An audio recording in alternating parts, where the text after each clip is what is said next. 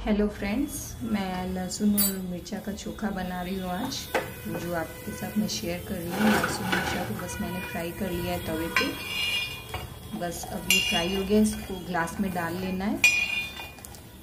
बिल्कुल ईजी है ये, बिल्कुल कुछ भी नहीं करना है इसमें। ग्लास में फ्राई करके बस इसको डाल लो। सिंपल तेल या घी में आप फ्राई कर सकते हो। इसमें डाल लिया, बस अब नमक डाल दो इसमें। आप सेंधा नमक या फिर काला नमक, डाल सकते या नॉर्मल आप टाटा नमक जो भी आप यूज़ करते हो वो डाल दो। मैं तो इसमें सेंधा नमक डालती हूँ। बस मैंने नमक डाल के और इसमें बस मैं जो रोटी बनाती हूँ तो ऐसे आप इसको मिक्सी में भी मिक्स कर सकते हैं।